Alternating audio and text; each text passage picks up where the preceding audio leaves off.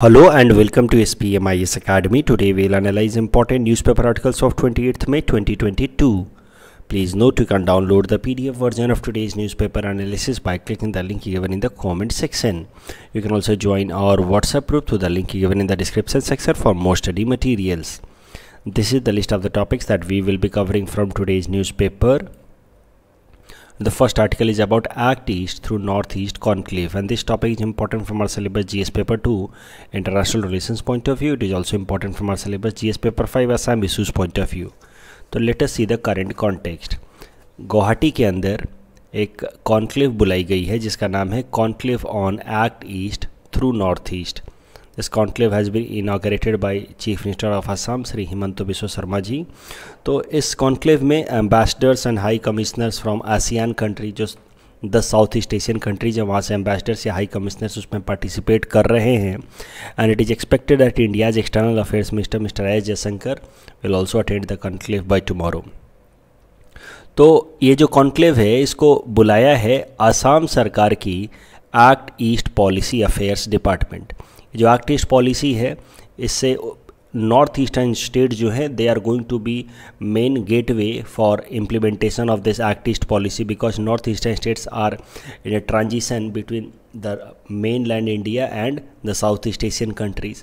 तो act east policy का पूरा पूरा फ़ायदा नॉर्थ ईस्टर्न स्टेट्स को, खासकर आसाम को मिले। इसके लिए असम सरकार ने एक डिपार्टमेंट बना रखा है, जिसका नाम है act east policy affairs department which comes under government of Assam और ये जो act east policy affairs department है, ये टाइम टू टाइम अलग अलग इनिशिएटिव्स लेती है, ताकि एक्ट ईस्ट पॉलिसी का पूरा पूरा फ़ायदा आसाम को मिल सके और एक्ट ईस्ट पॉलिसी को स्मूथ तरीके से इम्प्लीमेंट कराया जा सके। और इसी act east policy affairs department ने ये कॉन्क्लेव जिसका नाम है conclave on act east through north east बुलाया है। और इसमें पूरा फोकस रहेगा on enhancing connectivity of Assam with ASEAN countries in order to implement act east policy in more streamlined manner अब जरा सा एक्ट ईस्ट पॉलिसी एक बार रिवाइज कर लेते हैं। कई दफ़ा ए ने पूछा है यूपीएससी ने भी इस पर सवाल पूछा है। अगर एक्ट ईस्ट पॉलिसी को हमें समझना है तो पहले हमें समझना होगा लुक ईस्ट पॉलिसी देखिए 1991 में जाकर के ऑफिशियली कोल्ड वॉर ख़त्म हुआ with disintegration of USSR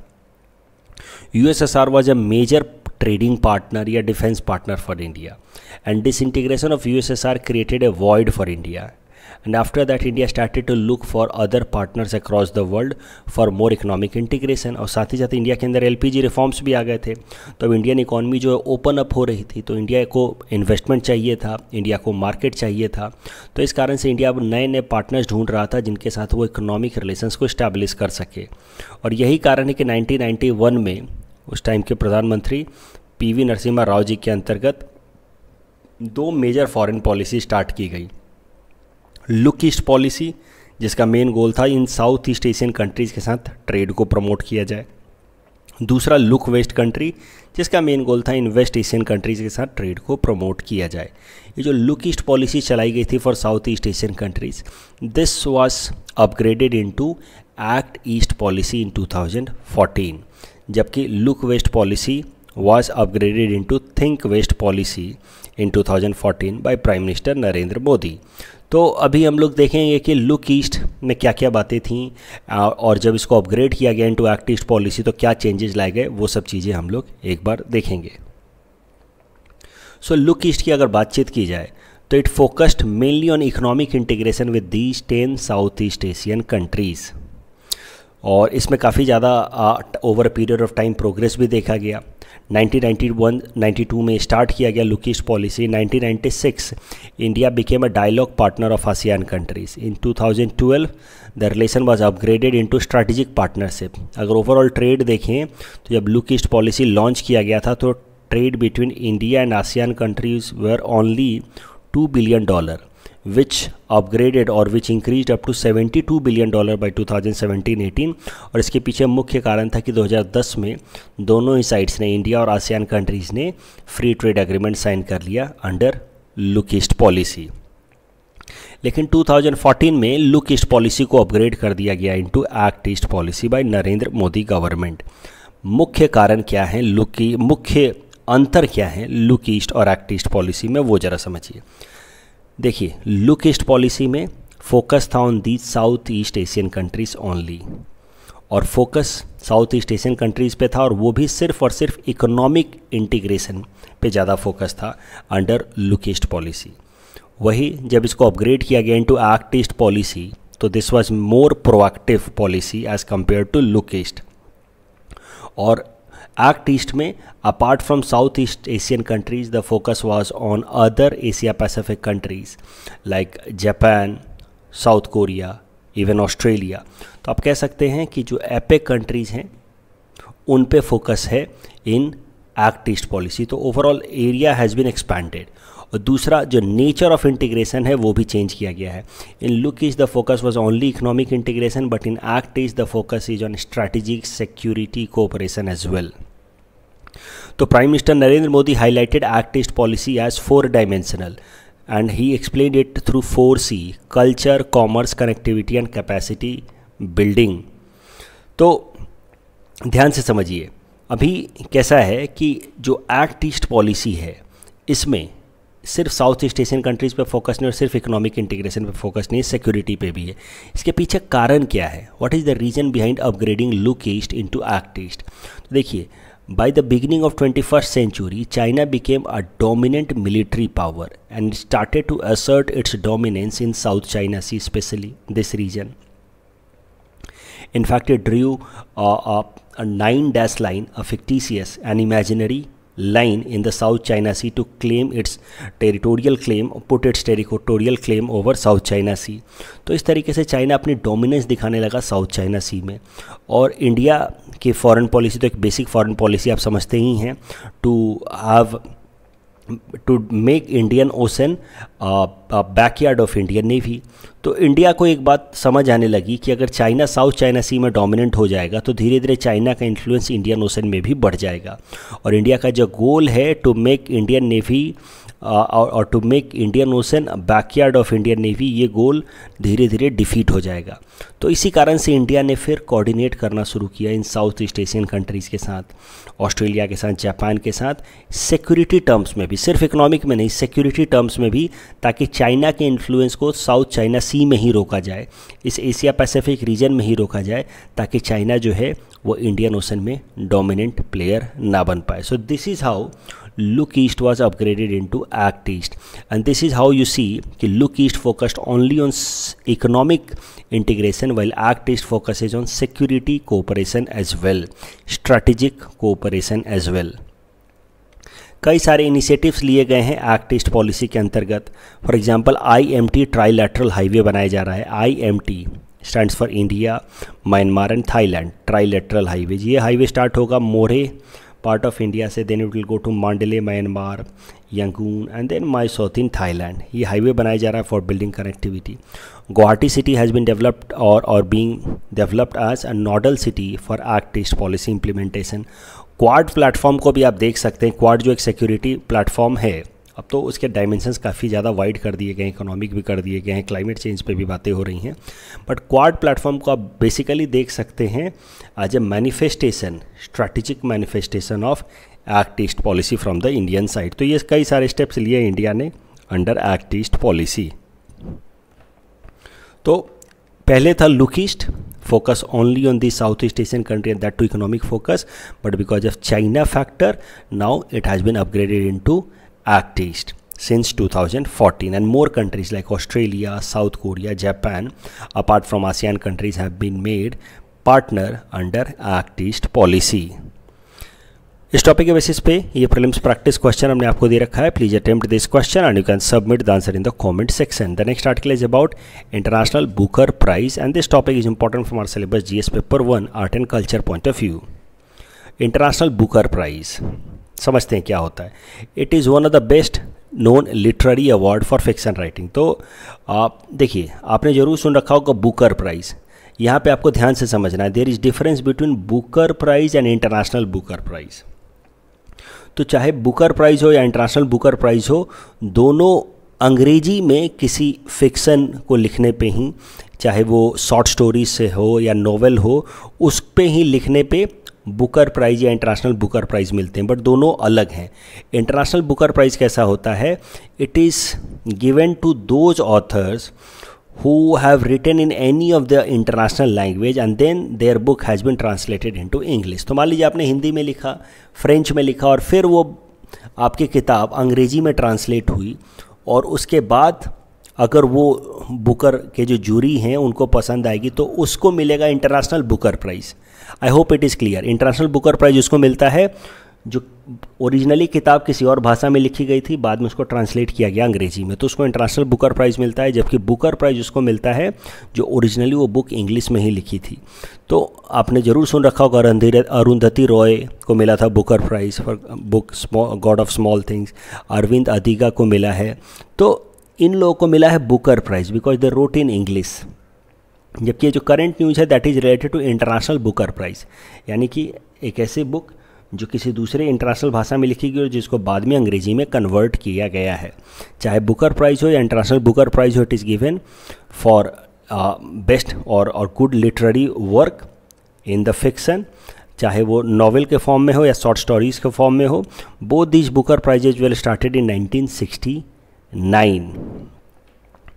अभी करंट न्यूज़ ये है कि भारत से गीतांजलि श्री को मिला है इंटरनेशनल बुकर प्राइज़। इन्होंने हिंदी में एक बुक लिखी थी, जिसका नाम था रेत समाधि। इसको फिर अंग्रेज़ी में ट्रांसलेट किया डी जी रॉकवेल ने, और फिर अंग्रेज़ी में नाम रख दिया टूम्ब ऑफ़ सैंड। रेत समाधि का अंग्रेज़ी में नाम रख दिया Tomb of Sand. Tomb of Sand was release in 2021 और अब इस बुक टूम्ब ऑफ़ सैंड के लिए गीतांजलि श्री को मिला है इंटरनेशनल बुकर प्राइज। अब टूम्ब ऑफ़ सैंड का कुछ बेसिक थीम भी देख लेते हैं। इसमें क्या क्या किस पे स्टोरी है, क्या स्टोरी है? हो सकता है पीटी में आपसे पूछ ले।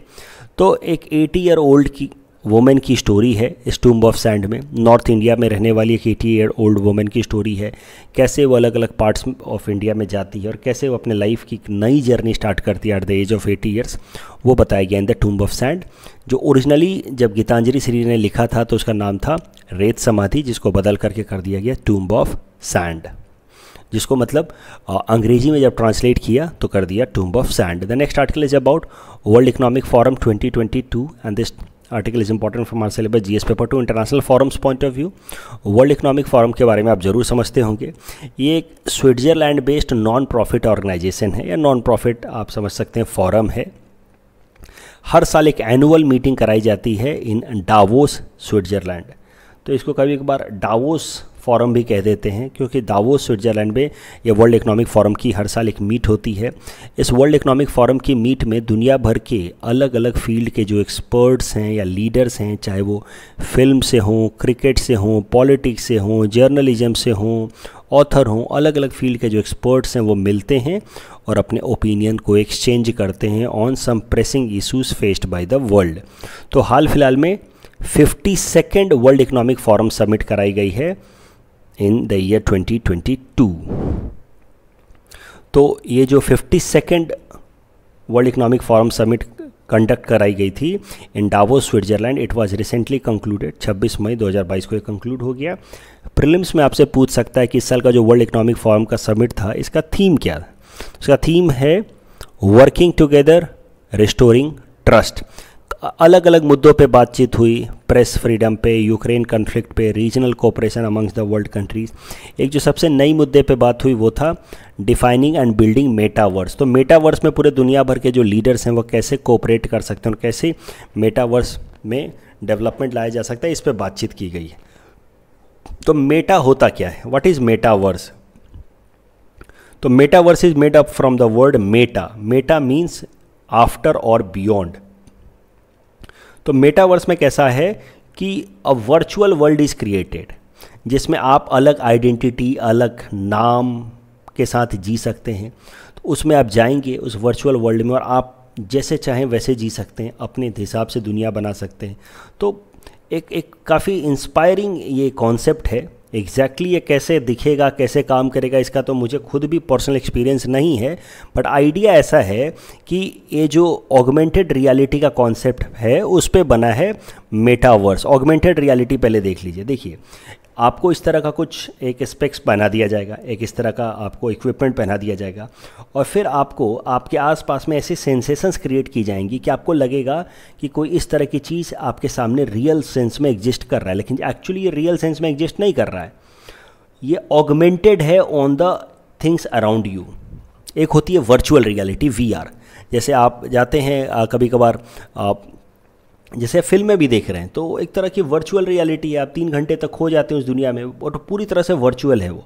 लेकिन ऑगमेंटेड रियलिटी वर्चुअल रियलिटी से थोड़ा अलग होता है। वर्चुअल रियलिटी में हर चीज़ वर्चुअल है। आप जो भी चीज़ फील कर रहे हैं, वो सब वर्चुअल और रियल सेंस में एग्जिस्ट नहीं करता। लेकिन ऑगमेंटेड रियलिटी में कैसा है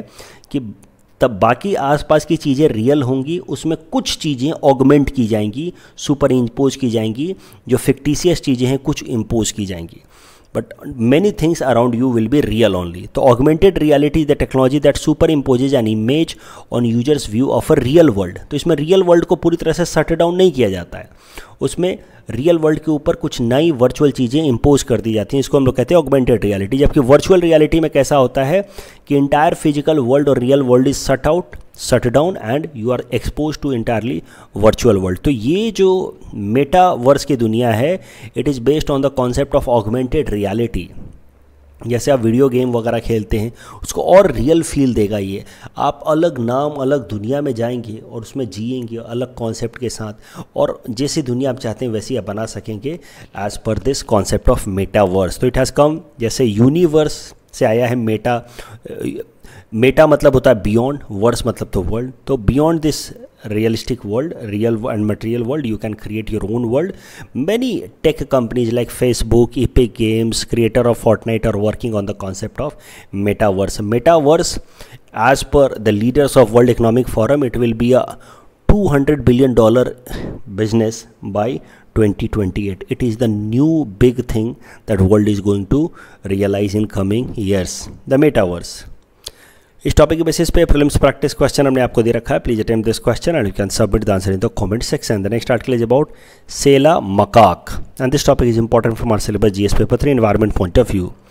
तो देखिए न्यूज़ ये है कि जियोलॉजिकल सर्वे ऑफ़ इंडिया के साइंटिस्ट ने एक नए तरह की मकाक, एक लंगूर या बंदर की खोज की, एक नए स्पीसीज ऑफ़ मकाक की खोज की है इन अरुणाचल प्रदेश। और इसका नाम रखा गया है सेला मकाक सेला नाम जो आया है it has come from Sela pass of Arunachal Pradesh which is at height of about thirteen thousand seven hundred feet above the sea level the Sela pass is between Dirang and Tawang towns of Arunachal Pradesh तो ये एक नया तरह का species नया macaque species मिला है, जिसका नाम दिया गया है सेला मकाक। अभी ये जो सेला मकाक है, ये वहाँ पे अरुणाचल में मिलने वाला जो अरुणाचल मकाक है, जो वहाँ का इंडिजिनस मकाक है, उससे काफ़ी अलग दिखता है। जैसे अरुणाचल मकाक को अगर आप देखेंगे तो उसका फेस काफ़ी डार्क रहता है, उसके ऊपर जो कोट या फर रहता है, वो भी काफ़ी डार्क कलर का होता है। जबकि जो सेला मकाक होता है, इसका फेस जो है वो पेल फेस होगा ब्राउन कोट होता है। ये जो सेला मकाक होता है, इसकी टेल भी काफ़ी लंबी होती है as compared to any other macaque. For example Tibetan Assamese Arunachal macaque की तुलना में सेला मकाक की टेल काफ़ी लंबी होती है। कल जो हमने आपको प्रीलिम्स प्रैक्टिस क्वेश्चन दे रखा था, उसका आंसर देख लेते हैं। Which are the following countries arrange the following countries in terms of decreasing order of sugar cane production सबसे ज़्यादा ब्राज़ील में, फिर इंडिया में, फिर चाइना में। तो answer would be two one three and then Bhil Pradesh, Maharashtra, Rajasthan, Gujarat और मध्य प्रदेश में हरियाणा में डिमांड तो है नहीं। हरियाणा में तो कोई इस तरह का डिस्ट्रिक्ट है नहीं। So the correct answer is D again and Shirui lily festival is from Manipur so the correct answer is B that's all from our sir for today thanks for watching